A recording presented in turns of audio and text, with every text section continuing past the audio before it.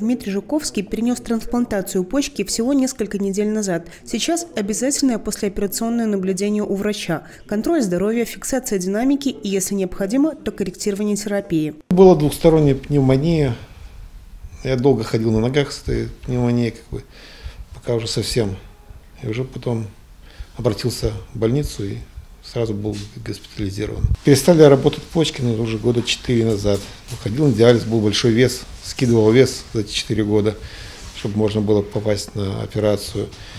Ну, достиг нужного веса, прошел все анализы, подтвердили, стал на очередь. Ну, очередь, это не знаю, месяца 4-5, наверное, прошел на очереди.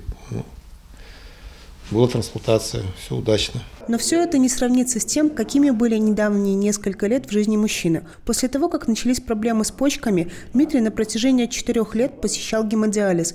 После операции, как отмечает мужчина, качество его жизни стало совсем иным. Очень благодарен, что врачи даже нашему отделению гемодиализа в Березе, здесь нашим врачам областной больницы, все очень хорошо, все быстро, четко как бы, даже не ожидал, что так быстро можно после такой операции ходить на ногах и радоваться жизни. Трансплантацию почек в Брестской областной клинической больнице осуществляют уже более 10 лет. За это время высокотехнологическую операцию провели для более чем 500 пациентов.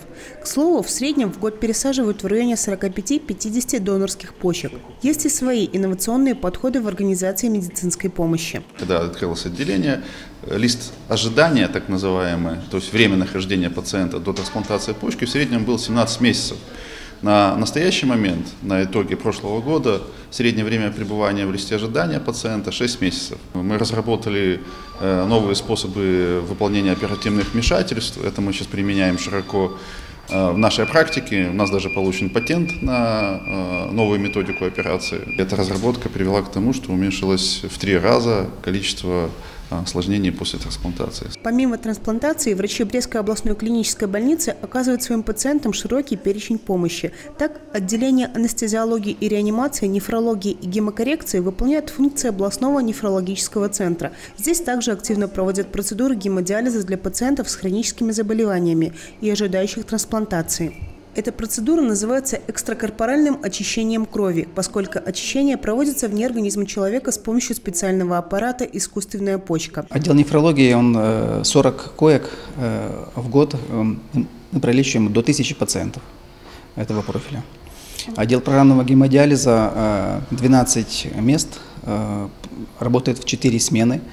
И в данный момент на программном гемодиализе у нас находится 79 человек.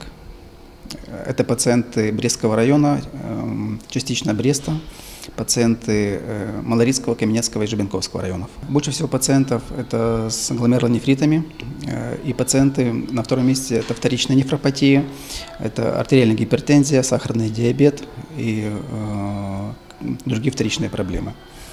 Среди пациентов, которые на гемодиализе, на, на первом месте примерно также э, пациенты с гломерулонефритами, а, а второе по, по частоте – это вторичная нефропатия. Как отмечают специалисты, почки – крайне уязвимый орган, влияние на который могут оказать как и внешние факторы, так и сопутствующие заболевания. Поэтому для того, чтобы предотвратить осложнения, врачи еще раз призывают к более пристальному вниманию как к своему здоровью, так и в случае необходимости к своевременному обращению за необходимой помощью.